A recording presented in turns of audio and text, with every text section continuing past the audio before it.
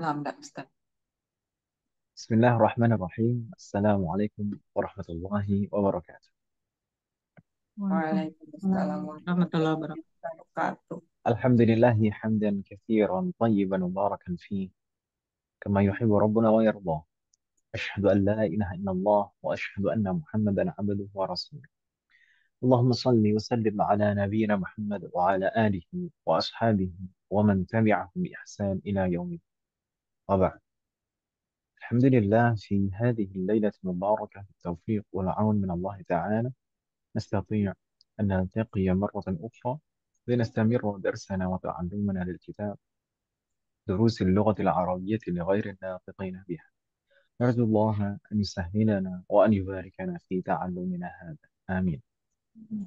الأمهات والأخوات كنا في لقائنا الماضي بدأنا الكلام في مباحث الإعراب kita di pertemuan yang lalu sempat sudah memulai membicarakan, membahas tentang pembahasan-pembahasan i'rab sekali.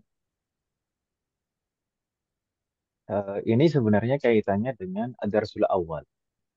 Atau bab pertama di semester 6 ini di jilid 3 itu adalah pembahasan al-mub al-mu'rab wal mabni minal asma wal af'al. Jadi pembagian ism dan fi'lun ada yang mu'rab dan ada yang mabni dan di sana dijelaskan panjang terkait dengan i'rab. Bagaimana halatul i'rab, kemudian alamatul i'rab eh, baik untuk ism maupun fi'lun. Namun karena saya lihat ada hal-hal yang mungkin perlu untuk disampaikan terlebih dahulu sebagai dasar landasan i'rab, namun di sana tidak disebutkan. Uh, mungkin di sana juga hanya membahas i'rabnya ism dan fi'lun saja. Adapun kelompok kata yang lain seperti harf, fi'lun madin, fi'lun mudhari, apa fi'lun madin, fi'l amr, harf, fi'lun madin, fi'l amr, di sana tidak dibahas sama sekali. Padahal meskipun mabni juga bisa di-i'rab.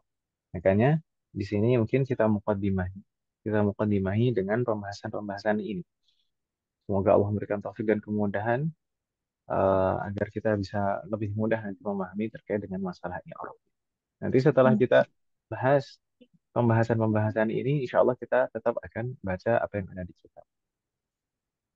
Kemarin umat sekalian, kita sudah membahas tentang anwa'ul kalimah, uh, macam-macam kata di dalam bahasa Arab. Ada ism, ada uh, fi'alun, ada harf.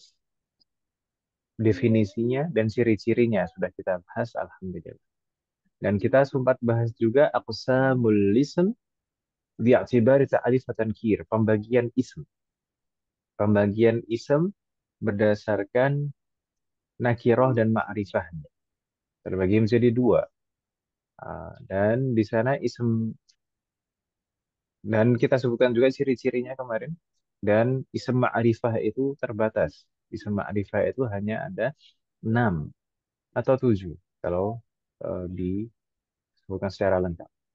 Kemudian kita sempat juga bahas tentang aqsamul kalimah min haitsul i'rab wal bina, pembagian kata di dalam bahasa Arab berdasarkan i'rab wal bina, berdasarkan mu'rab dan mabni. Baik, ini muqaddimah-muqaddimah ini penting bagi kita karena uh, langkah yang kita ambil pertama kali saat mengi'rab itu kita harus menentukan ini jenis kata apa? Apakah ism atau fi'lun atau harf? Dan itu akan menentukan juga cara mengi'rab. Bagaimana mengi'rab? Kemarin sudah kita bahas ini. Kemudian harf. Kemudian nakirah ma'rifah. Ada pertanyaan masih kalian mungkin? Terkait dengan yang kita bahas kemarin. Kemarin kita bahas bahwasanya semua kata itu ada yang mu'rab, ada yang mabni. Jadi dikelompokkan secara umum ada yang mu'rab, ada yang mabni. Namun pembagian secara detailnya di Halaman berikutnya, pembagian secara detailnya, ada kelompok kata yang kita sebut dengan al-mabniyat, yang semuanya itu mabni, dan ada yang ada kelompok kata yang aghlabuha mu'arabah wa ba'duha mabniyah. Mayoritasnya mu'rab, namun sebagiannya ada yang mabni. Al-mabniyat itu ada tiga. Kita harus betul-betul ingat ini. Al-mabniyat as-salas tiga kelompok kata yang semuanya mabni, yaitu al-huruf, al-af'al al-madiyah, kemudian af'alul amr. Ini kelompok kata ini semuanya mabni, disebut dengan al-mabniyat. Nanti cara mengi'rabnya berbeda. Kemudian yang mayoritasnya mu'rab dan sebagiannya mabni ada ism dan fi'lun mudhari. Kebanyakan ism itu mu'rab, namun ada ism yang mabni. Fi'lun mudhari juga demikian, mayoritasnya mu'rab namun ada yang mabni. Kemudian al-mabniyat, al-mabniyat saat kita mengi'rab itu selalu kita katakan la mahalla lahu min al-i'rab. Tiga-tiganya ini baik al-huruf, fi'lun madin, fi'lul amr selalu kita katakan la mahalla lahu min al-i'rab, tidak mempunyai kedudukan i'rab. Yang kita permasalahkan kemarin adalah tanda binanya apa? Kan ini mabni. Nah, mabni itu juga pasti punya tanda bina, alamatul bina. Nah, alamatul bina ini biasanya saat kita mengirob kita katakan mabniun ala alal ala dham. Ya, misalnya mabniun ala sukun, mabniun ala al-fathi atau mabniun ala kasri. Uh, al-huruf itu tanda binanya sesuai dengan harokat terakhirnya. Bagaimana kita sebutkan kemarin. Jadi di sana ada empat kemungkinan bisa mabniun ala sukun, mabniun ala fathi, mabniun ala kasri atau mabniun ala dham. Adapun fi'lun madin, fi'lun madin juga demikian. Mabniun ala harakati awakhiriha. Ini tanda binanya sesuai dengan harokat terakhirnya. Bisa mab ada tiga kemungkinan. Bisa mabniun ala fathi, bisa mabniun ala dham, bisa mabniun ala sukun. Mabniun ala fathi nah, jika tidak bersambung dengan wawul jamaah dan tidak bersambung dengan dhamir mutaharrik. Maka di sana mabni al-fathi seperti dhahaba, dhahaba, dhahabat, dhahabata itu mabniun al-fathi. Huruf terakhirnya fathah. Tapi kalau bersambung dengan wawul jamaah seperti dhahabu, maka huruf terakhirnya dhammah, maka mabniun al-dhamm. Kalau bersambung dengan dhamir mutaharrik, dhamir yang berharokat dari mulai nunun niswah sampai terakhir sampai na al-mutakallimin dari dhahabna, dhahabta, dhahabtum, dhahabtum, dhahabti, dhahabtum, dhahabtuna, dhahabtu, dhahabna. Semuanya huruf terakhirnya sukun. Maka kita katakan mabniun ala sukun. Jadi kita tinggal lihat saja huruf terakhirnya apa. Maka itu adalah tanda binanya. Ini yang paling mudah dan ini yang banyak diterapkan oleh jumhur uh, orang-orang uh, sekarang. Kalau madhab yang lain, fi'lun madin itu mabniun alal fathi selalu. Ada madhab yang lain mengatakan fi'lul madin itu selalu mabniun al fathi. Tapi kadang fathahnya kalau misalkan memang betul-betul kelihatan fathahnya pada huruf terakhirnya berarti fathahnya zahirah. Tapi kalau tidak kelihatan fathahnya seperti zahabu itu nggak kelihatan fathahnya, nggak ada fathahnya. Kemudian juga seperti zahab, nah zahabta, zahabtum, zahabtum dan seterusnya itu tidak kelihatan fathahnya, nggak ada fathahnya. Maka itu berarti fathahnya muqaddarah. Itu kalau menurut madhab yang lain. Tapi mudahnya uh, seperti yang saya sebutkan di sini saja. Ini bisa mabniuna ala al-fathi, bisa mabniuna ala dham, bisa mabniuna ala sukun. Ini yang paling mudah, tinggal dilihat harokat terakhir. Gitu ya, Bu. Kemudian fi'il amr. Fi'il amr uh, kemarin kita sampaikan fi'il amr. Ini yang terakhir kita bahas kemarin fi'il amr yang di Bu. Fi'il amr itu tanda binanya apa? Nah, fil amr itu semuanya juga mabni. Uh, baik uh, domirnya apa pun. Mukhatab, mukhataban, mukhatabun, mukhatabah, mukhatabatan, atau mukhatabat. Ada enam sirah fil amr. Kita contohkan kalau uh, zahaba. Anta tadhabu jadi idhab. Antuma idhaba, antum idhabu, anti idhabi. Kemudian antuma idhaba dan antunna idhabna. Itu ada enam bentuk. Baik. Tanda binanya bagaimana? Tanda binanya adalah sesuai dengan tanda jazm pada fi'lun mudhari'nya saat fi'lun mudhari'nya majzum. Nah, saat saat fi'lun mudhari'nya majzum, tanda jazmnya apa? Maka itu adalah tanda bina pada fi'il amr. Maka di sana ada empat kemungkinan. Bisa mabniun ala hadfin nun, bisa mabniun ala hadfi harfil illah, bisa mabniun ala al-fathi, dan bisa mabniun ala sukun. Mabniun ala hadfin nun kapan? Mabniun ala hadfin nun jika fi'il amr ini berasal dari al-af'alul khamsah. Jika fi'il amr ini berasal dari af'al al-af'alul khamsah. Al-af'alul khamsah itu yang bagaimana? Al-af'alul khamsah itu fi'lun mudhari yang diakhiri aliful isnain, wawul jama'ah, atau ya'ul muqatabah. Jadi kalau misalkan fil amr, fil amr yang berasal dari al-af'alul khamsah itu ada anta, misalkan anta tadhhabani, antum tadhhabuna, anti tadhhabina. Jadi an antuma, antuma tadhhabani, kemudian antum tadhhabuna, anti tadhhabina. Kalau dijadikan fi'il amr, maka jadi idhaba dihapus huruf nunnya. Idhabu dihapus huruf nunnya. Idhabi dihapus huruf nunnya. Uh, maka kalau kita i'rab ini fi'il amr ini mabniun ala hadfin nun.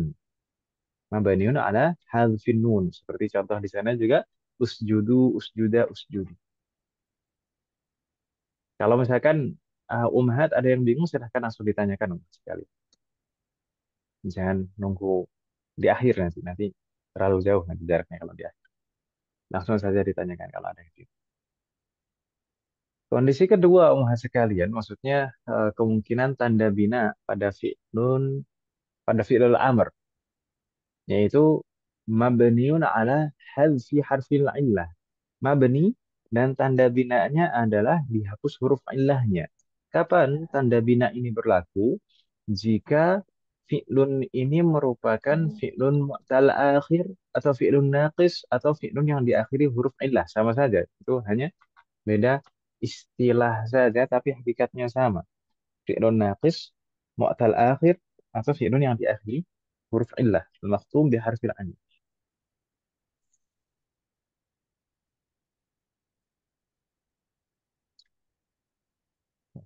Jami. Fi'lun yang diakhiri huruf illah pada saat bentuknya fi'lun mudhari majzum maka tanda jazmnya adalah hadfu harfil illah dihapus huruf illahnya kecuali kalau al afalul khamsah. Kalau al afalul khamsah tadi masuk yang pertama. Saya Alhamdulillah. Kalau sekalian, nampaknya ada kendala di koneksi Hmm, saya. Tadi agak putus-putus juga sih Ustadz tadi udah mulai agak putus-putus Ah, nah, suaranya. dari mana? Mulai tidak jelas tadi dari mana? Saya ulangi. Ya lumayan sih nggak apa maksudnya kalau ngomongnya agak putus-putus. Ya pas lagi jelasin ini baru kok Ustadz nggak lama. Allah. Apa namanya? Jahit. Jadi kondisi yang kedua tadi apa Om? Eh, Tanda bina yang kedua pada fi'il amr adalah mabniun ala hazfi harfil illah. Dihapus huruf illahnya. Tanda binanya adalah dengan dihapus huruf illahnya. Kapan ini berlaku? Jika fi'lun ini berasal dari fi'lun apa nama sekalian? Masih putus-putus suara saya? Enggak, Ustaz. Hmm. Jika fi'il amr ini yang uh, berasal dari fi'lun yang diakhiri huruf illah. Kalau aslinya diakhiri huruf illah dan bukan uh, tidak bersambung dengan domir apa pun, maka uh, kalau kita perhatikan saat bentuknya mudhari dan majzum, maka tanda jazmnya adalah hadfu harfil illah. Misalkan di sana ada beberapa contoh. Tada'u lagi nggak bagus. Apa nama sekalian? Ini putus lagi nampaknya barusan. Iya, Ustaz. Sinyal kayaknya Ustadz ya. Nggak tahu Om ya. Yang hujan Sinyalnya di tapi sana kok bagus, yang Ustaz. putus di sini Om ya? Sinyalnya tapi kelihatan kenceng nggak Ustaz di laptopnya? Kayaknya memang kurang stabil sih Om. Coba saya. Oh.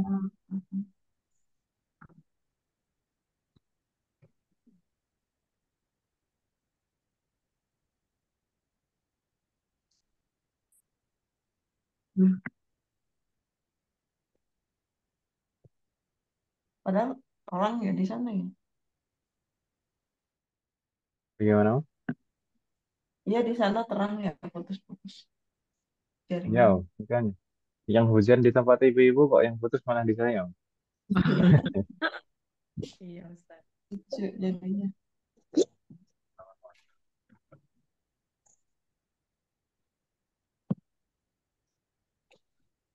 Saya ulangi lagi.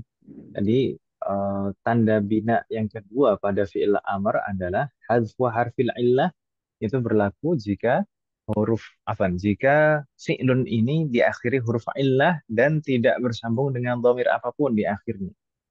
Di sana ada contoh misalkan tada'u ada huruf waw, huruf illah di akhirnya tada'u. Kalau misalkan majzum maka kita katakan lam tada'u. Tanda jazmnya hadfu harfil illah. Maka saat menjadi fi'il amr juga dihapus huruf ilahnya. Itu sebagai tanda binaannya.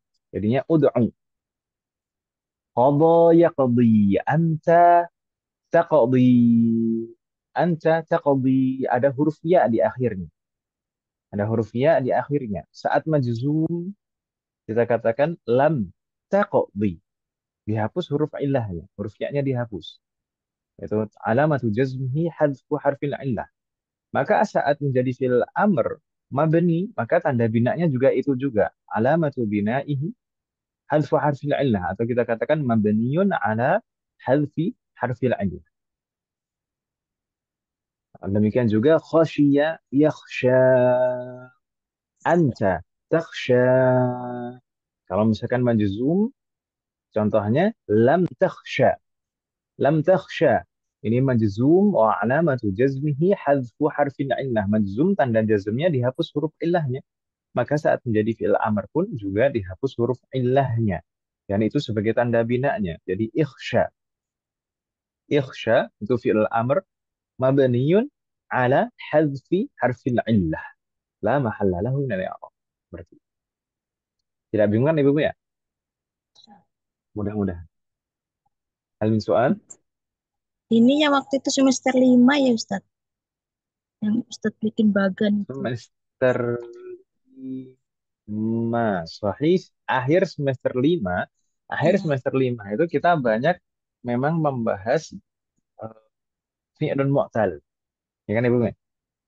Akhir-akhir semester 5 itu kita memang banyak membahas fi'lun mu'tal, fi'lun yang ada huruf illahnya. Dan di sana uh, di antara yang kita bahas adalah fi'lun naqis memang, fi'lun yang diakhiri. Huruf ilah yang huruf ilahnya ada di akhir. Mu'tal akhir. Di sana saat menjadi saat majzum maka dihapus huruf ilahnya, saat jadi fi'il amr juga dihapus huruf ilahnya. Uh, saat fi'lun mudhari'nya majzum dihapus huruf ilahnya itu sebagai alamatul jazmnya. Dan pada fi'il amr dihapus huruf ilahnya sebagai tanda bina. Gitu ya. Yes.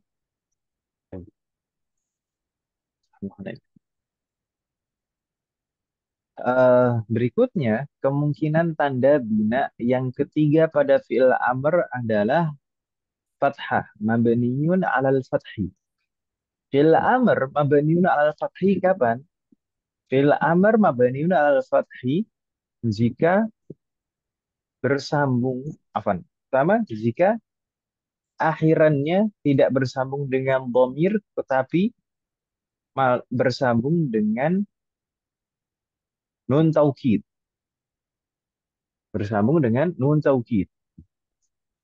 Nun taukid itu uh, yang paling familiar itu biasanya nun bertasydid dan tandanya fathah.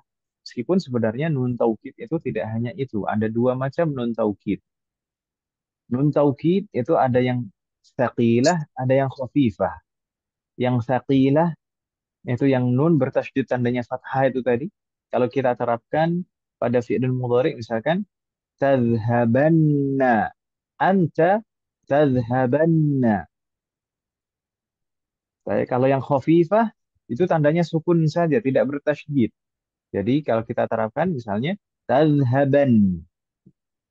Tadhhaban. Jadi tadhhabanna dan tadhhaban. Nun di akhir fi'lun itu tadi, dua-duanya adalah nunu taukid yang fungsinya sebagai penegasan makna dari fi'lun tersebut. Penegasan, taukid. Eh, sebenarnya secara detail insya Allah untuk nunu taukid akan kita pelajari di akhir-akhir semester 8 nanti insya Allah. Jadi dua bab terakhir semester 8. Semoga Allah memberikan taufik, kemudahan, dan keistiqomahan untuk kita mempelajari. Jadi secara rinci detail semua pembahasannya di sana. Tapi kalau di sini sekilas saja. Uh, sekalian, sebenarnya tidak semua fi'lun mudhari yang bersambung dengan nunu taukid itu pasti mabniun al fathi, tidak. Seperti yang saya sekilas sebutkan tadi, fi'lun mudhari kalau bersambung dengan nunu taukid mabniun al fathi, mabni dan tanda binanya fathah itu hanya jika fi'lun mudhari'nya itu tidak bersambung dengan domir. Kalau tidak bersambung dengan domir, baik aliful isnain wawul jama'ah, ya'ul mukhatabah maupun nunun niswah. Berarti dengan kata lain, kalau fi'il amr, ya hanya satu saja. Hanya yang domir anta saja. Nah, kalau fi'il amr, kalau misalkan yang fi'il mudhari, nah, ada ada beberapa masih yang domir huwa, hiya, anta, ana, dan nahnu itu akhirannya fi'il mudhari'nya tidak bersambung dengan domir apa pun. Tapi kalau fi'il amr hanya domir anta saja yang akhirannya tidak bersambung dengan domir. Dan hanya itu saja berarti yang mabniun al-fathi, ibu sekalian. Gitu ya, Ibu ya? Karena perlakuannya berbeda kalau yang bersambung dengan domir akhirannya.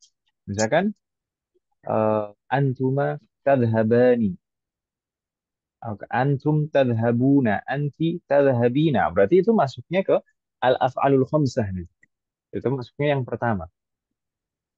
Kemudian yang bersambung dengan nunun niswah, nah, kalau yang bersambung dengan nunun niswah sejak fi'lun mudhari'nya sudah mabniun ala sukun, maka sampai kapan pun juga saat menjadi fi'il amr juga tetap mabniun ala sukun, nggak berubah. Jadi di sini kita katakan yang kondisi ketiga ini yang mabniun al fathi, mabniun al fathi ini jika akhirannya bersambung dengan nunu taukid, tapi juga syaratnya tidak bersambung dengan domir apa pun. Baik aliful isnain, wawul jamaah, ya'ul mukhatabah maupun nunu niswah. Jadi hanya satu sirah fi'il amr saja, yang domirnya anta saja.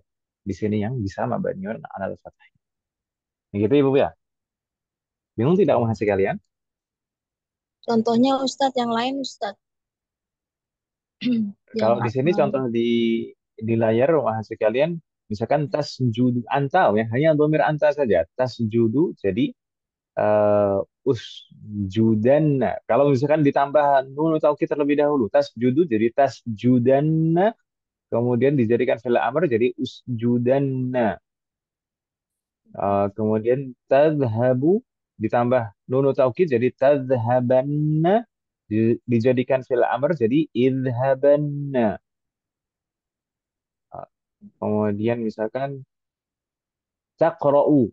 Taqra'u kalau ditambah nunu taukid jadi taqra'anna jadikan fil amr jadi iqra'anna.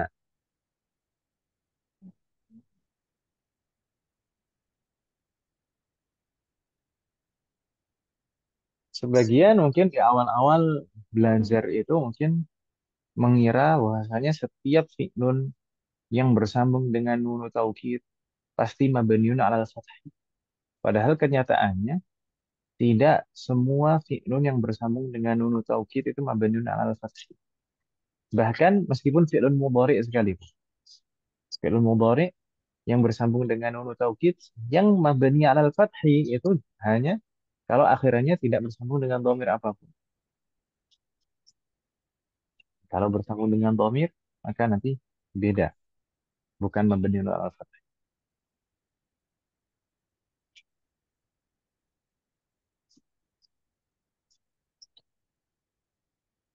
Soal akhir Wahid. Aja.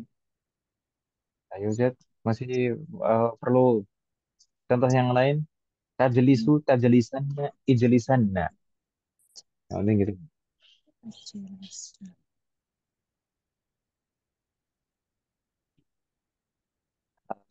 Zaid.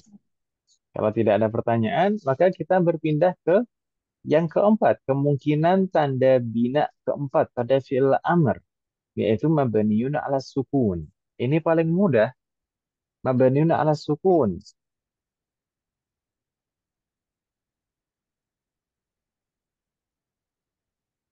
Kapan fi'il amr itu mabaniun ala sukun? Justru, justru mungkin mabaniun ala sukun ini mungkin pertama kali yang kita kenal pada bentuk fi'il amr ya kan Ibu ya? Yes. Ah, tapi di sini Mbak kita jelaskan di sini fi'il amr mabniun ala sukun itu jika kondisinya tidak termasuk kondisi yang pertama, kedua dan ketiga tadi. Baru tandanya adalah sukun, tanda bina. Jadi yang bisa mabniun ala sukun itu ada dua mas sekali. Yang bisa mabniun ala sukun itu ada dua, yang domirnya anta dan antunna. Yang domirnya anta dan antunna. Domirnya anta, misalkan tasjudu, jadi usjud. Kemudian antunna, tasjudna, jadi usjudna. Kalau yang domir anta, itu bisa berubah menjadi yang lain, bisa berubah menjadi kondisi yang kedua atau ketiga. Kalau dia akhiri huruf illah, maka dihapus huruf illahnya. Kalau bersambung dengan nun taukid, maka jadi mabnun al fathah. Itu kalau domir anta ya. Kayak usjud misalnya. Jadi uh, usjudanna, maka mabnun al fathah. Tapi kalau yang domirnya antunna, di akhirnya itu ada nun niswah. Nun niswah ini tidak bisa dihapus dan diganti-ganti. Maka pasti sudah bisa dipastikan yang fi'lun fi'l amr yang domirnya antuna itu pasti mabniun ala sukun. Pasti om. Meskipun nanti itu diakhiri huruf illah, meskipun bersambung dengan nun nun taukid, tetap domir yang apa tetap fi'il amr yang diakhiri nun niswah gitu antunna misalkan di sana antunna ijlisna antunna usjudna antunna idhabna. Itu akan tetap mabniun ala sukun. Gitu ya Bu ya? Itu kalau yang domirnya antun kalau yang domirnya anta maka nanti masih bisa ada kemungkinan yang lain. Bisa masuk kemungkinan yang kedua atau ketiga. Bingung tidak Om sekali Amin soal? Kalau masuk yang kedua atau ketiga itu gimana Ustaz tadi masuknya? Ya, Yang kondisi kedua. tadi kalau misalkan diakhiri huruf illah kan berarti tanda jazmnya hadfu harfil illah. Ya kan, namanya? Kalau itu anta ya. Seperti contoh-contoh tadi, ud'u, iqdi, ikhsha. Ini kan domirnya anta semua. Ya, yes. Ah, yang diakhiri huruf illah. Kemudian kalau kondisi ketiga bersambung dengan nunu taukid. Uh, seperti tadi usjudanna. Anta itu domirnya juga usjudanna. Maka jadi mabniun al fathi kalau bersambung dengan nunu taukid. Yang belum familiar yang nomor tiga itu Ustaz. Ah, lah bahasa. Pengenalan saja di sini. Nah, Karena memang juga jarang juga kita temukan prakteknya kan itu. Iya.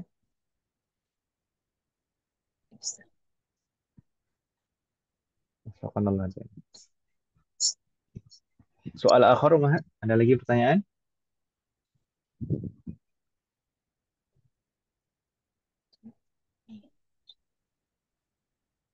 Lama, Ustaz.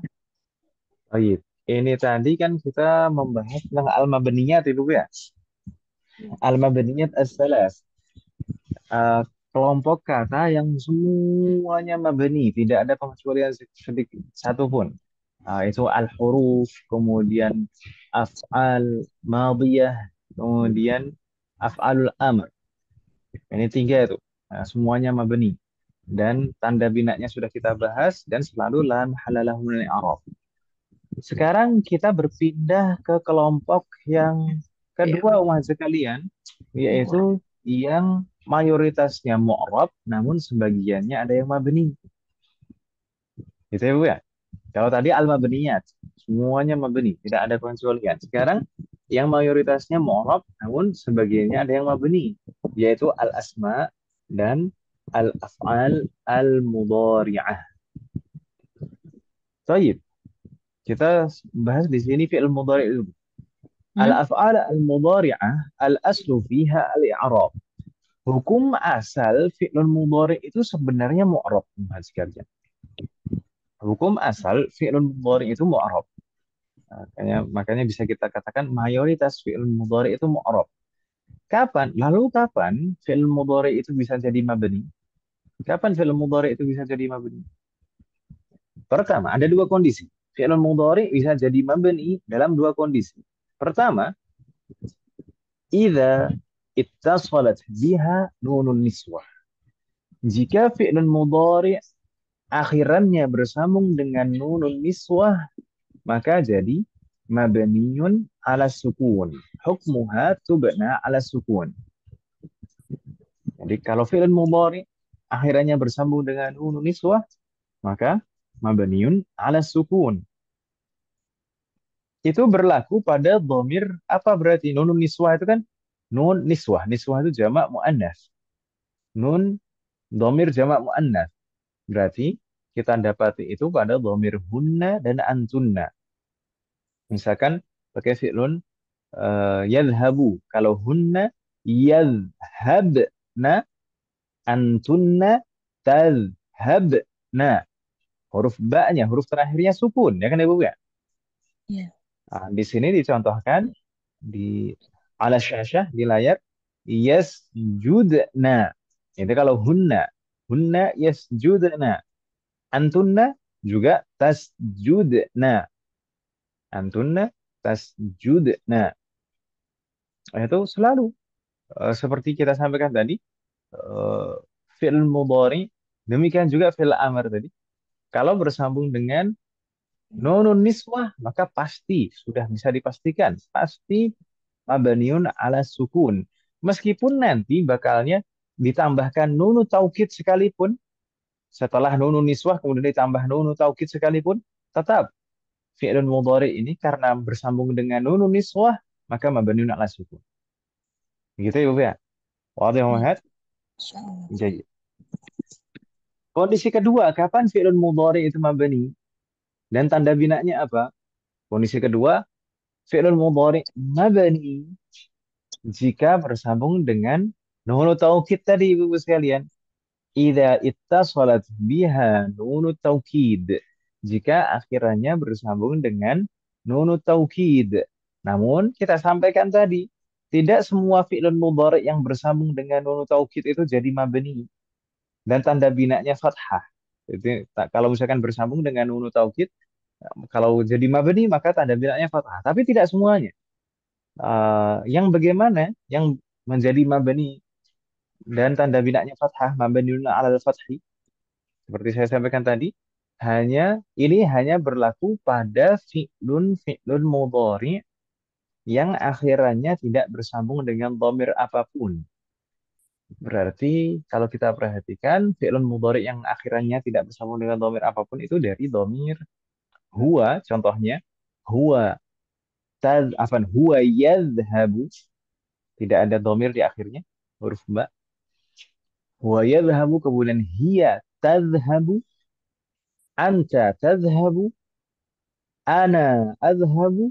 Dan nahnu nadhhabu itu fi'lun fi'lun mudhari yang akhirannya tidak bersambung dengan dhamir apa pun. Itulah fi'lun fi'lun mudhari itulah yang jika disambung dengan nun taukid maka jadi mabniun alal fathi. Fi'lun-fi'lun mudhari yang akhirannya tidak bersambung dengan domir apa pun itulah kalau yang eh, kalau kalau disambung dengan nun taukid maka jadi mabniun alal fathi. Jadi kalau misalkan tadi huwa yadhhabu jadi yadhhabanna hiya tadhhabu jadi tadhhabanna anta tadhhabu tadhhabanna ana adhhabu adhhabanna nadhha nahnu nadhhabu jadi nadhhabanna Ah, contoh ada syashah tasjudanna anta ini tasjudanna bingung tidak umat sekalian hal min soal Lima domir ya nah lima domir saja yang fi'lun mudhari'nya akhirnya tidak bersambung dengan domir apa pun yaitu yang mabaniun alal fathi karena kalau yang selain itu kalau misalkan akhirannya bersambung dengan nunun niswah maka mabaniun ala sukun Sedangkan al-af'alul khamsah, al-af'alul khamsah meskipun bersambung dengan nunu taukid nanti tetap mu'rab. Bukan mabni, tapi tetap mu'rab. Gitu ya, Bu ya? Wafakan Allah jami. ليس عندكن سؤال إن كان ليس عندكن سؤال فننتقل إلى الأسماء kita berpindah ke ism ibu-ibu sekalian Ha, sebagaimana fi'lun mudhari itu hukum asalnya mu'rab, maka ism pun juga demikian umat sekalian. Hukum asal ism itu mu'rab umat sekalian. Hukum asalnya, hukum asalnya, hukum asalnya ism itu mu'rab. Illa fi asyarati anwa' minal asma. Kecuali 10 macam ism. Asyaratu anwa' tubna ala harakati awakhiriha. 10 macam ism itu mabni dan tanda binanya itu sesuai dengan harokat terakhir. Lalu 10 itu apa saja? 10 macam ism yang mabni itu apa saja? Ini mudah insya Allah untuk diingat Ibu sekalian. Uh, kalau kemarin kita membahas uh, ism ma'rifah. Ism ma'rifah itu ada 6 atau 7. Kalau kita tambahkan. Kalau ism yang selalu mabni itu ada ada 10. 10 itu apa saja? Kita sebutkan secara singkat terlebih dahulu. Yang pertama ada ad-dhamair. Ad-dhamair semuanya mabni. Kemudian ada asmaul isyarah juga semuanya mabni kecuali ada pengecualian. Ada pengecualian. Kemudian asma al-mausulah Al-asma al-mausulah juga ada pengecualian, kemudian al-asma afan asmaul istifham dan asmaul syarat juga ada pengecualian. Kemudian al-alam al-makhtum biwai, nama nama orang yang diakhiri wai. Sibawai, rohawai. Kemudian al-a'dad al-murakkabah, bilangan belasan. Itu juga mabni. Meskipun ada pengecualian. Kemudian asmaul af'al. Asmaul af'al juga semuanya mabni. Kemudian yang ke sembilan ada ba'du dzuruf al-mufradah, beberapa zarf, sebagian zarf itu ada yang mabni. Meskipun asalnya zarf itu mu'rab dan kalau digunakan sebagai zarf mansub. Namun ada beberapa zarf yang mabni. Dan terakhir yang ke-10 ada al-dzuruf al-murakkabah, zarf yang jika dirangkai. Uh, aslinya dua zarf kemudian dijadikan satu gitu maka jadinya mabni. Wafaqanallah jami'an. Namun umat sekalian, ini kita baru menyebutkan secara sekilas saja. Jadi isem 10 isem yang se semuanya mabni, yang selalu mabni. 10 isem mabni itu ada apa saja? Ini 10 ini. Kita sebutkan saja untuk pembahasannya, penjelasannya lebih detail bagaimana kalau kita lanjutkan besok saja Mas sekalian. Apa sekalian? Iya, nggak apa-apa. Mahat. Sudah, tapi malam ini nggak sampai nggak sampai bingung banget, pusing ngebul gitu kan nggak sampai kan? Pusing.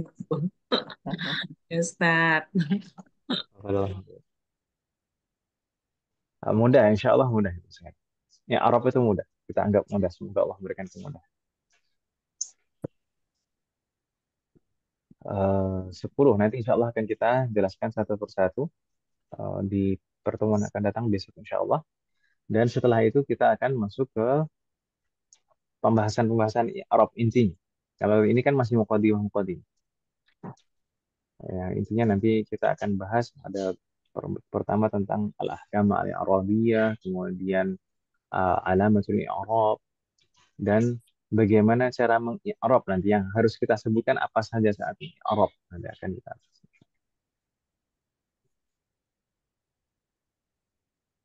هل من سؤال هناك قبل أن؟ لا يوجد. لا يوجد. إن كان لا يوجد فنكتفي بهذا القدر kalau misalkan memang betul-betul tidak ada pertanyaan maka kita cukupkan umat sekalian ya Ustaz نعم. آه نلتقي مرة أخرى غدا إن شاء الله. نسأل الله والآن نكتفي بهذا القدر. Kita cukupkan sampai di sini ya sekalian semoga apa yang kita bahas dan pelajari malam hari ini bermanfaat dan barokah semoga Allah selalu memberikan kemudahan keberkahan kesabaran keistiqomahan serta keikhlasan dalam proses belajar kita. Semoga Allah selalu memberikan taufik dan hidayah kepada kita semuanya demikian juga kepada orang-orang yang kita sayangi semoga Allah selalu melindungi kita semuanya dan juga orang-orang yang kita sayangi di mana pun berada jika di antara kita ada yang sakit atau kerabat kita atau keluarga kita kita ada yang sakit semoga segera diberi kesembuhan oleh Allah Subhanahu wa taala. Terkhusus eh, teman-teman kita yang ada di kelas ini di halaqah ini. Semoga yang sakit semoga segera diberi kesembuhan oleh Allah Subhanahu wa taala.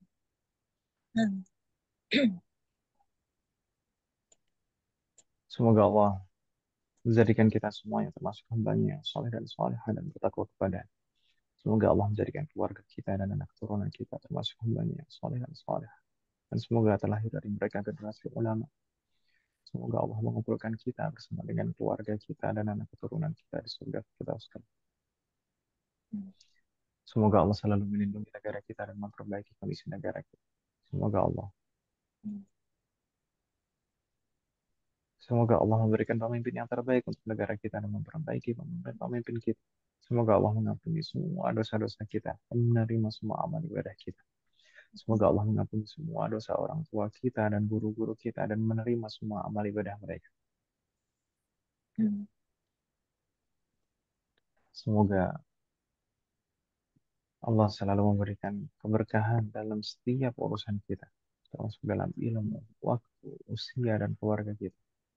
Semoga Allah selalu memberikan taufik kepada kita semuanya agar kita bisa senantiasa ridho, bersabar dan bersyukur atas semua ketetapan dan ketentuan Allah Subhanahu wa taala.